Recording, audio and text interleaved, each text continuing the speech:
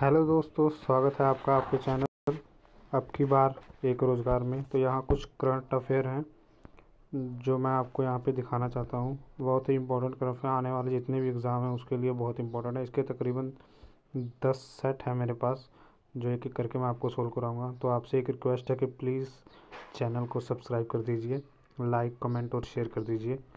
तो चलिए शुरू करते हैं। पहला है, आपसा के संदर्भ में निम्नलिखित कथनों पर विचार करें। हाल ही में आपसा 1958 के तहत गृह मंत्रालय ने पूरे असम में राज्य को छः और महीने के लिए शांत क्षेत्र घोषित कर दिया है।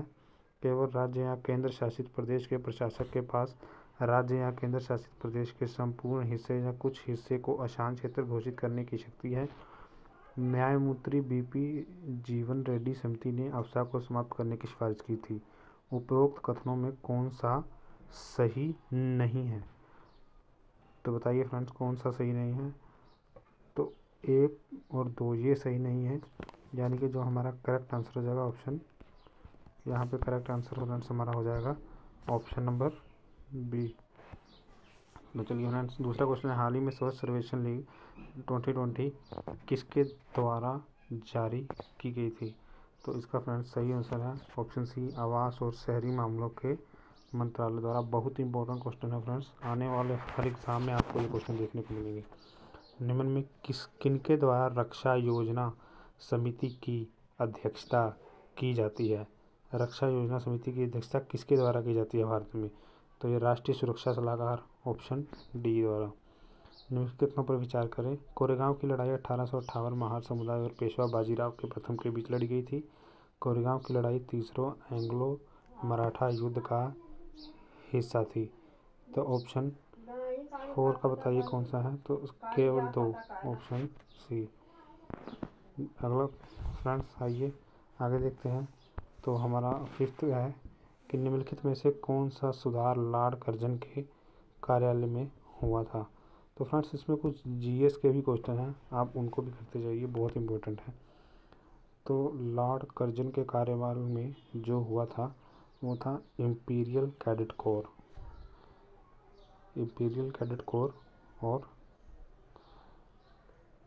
एक पुलिस सुधार इम्पीरियल कैडेट कोर और प्राचीन स्मारक अधिनियम 1904 यानी कि इस हिसाब से हो जाएगा हमारा option number option number C तो छठा क्वेश्चन है, भारतीय रेलवे सुरक्षा बल सेवा निम्नलिखित में से जो रेलवे सुरक्षा बल था उसका नाम परिवर्तित करके अब क्या कर दिया गया है? तो बताइए फ्रेंड्स, क्या कर दिया गया है? तो इसके ऑप्शन हमारे पास हैं।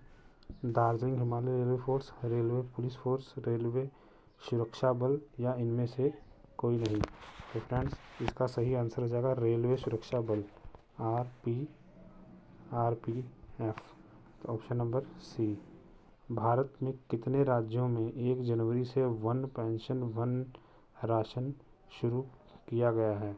तो ऑप्शन बी, बारह राज्यों में। नागालैंड में गृह मंत्रालय ने कौन से कानून की अवधि छः माह के लिए छः माह के लिए बढ़ा दी है?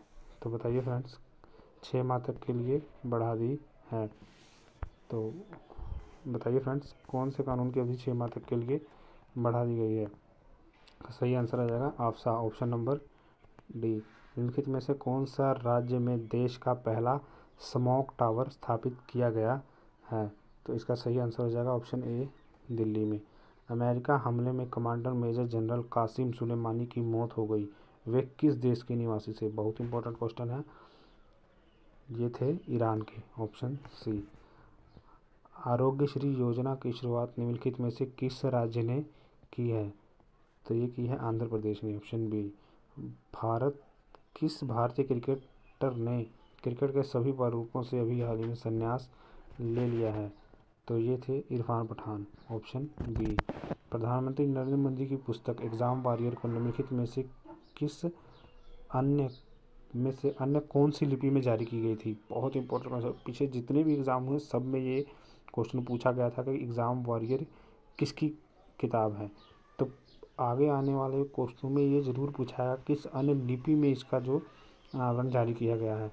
तो ये किया गया है ब्रेल लिपि ऑप्शन बी हाल ही में कौन सी संस्था द्वारा सस्टेनेबल डेवलपमेंट गोल्स इंडेक्स जारी किया गया है? तो ये हमेशा जारी किया जाता है नीति आयोग द्वारा।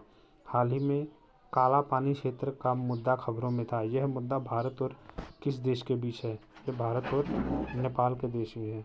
तो आशा करता हूँ फ्रेंड्स, आपने सभी क्वेश्चन बहुत ही ध्यान से देखे होंगे और बहुत इंपॉर्टेंट है ये आपके आने वाले सभी एग्ज़ाम में देखने के लिए। मेरे पास ऐसे दस करंट अफेयर के सेट है, मैं सभी को आपको करके करवाऊँगा। तो फ्रेंड्स आपको ये वीडियो कैसा लगा कमेंट करके ज़रूर बताइए और लाइक सब्सक्राइब ज़रूर कर दें। जय हिंद, जय भारत।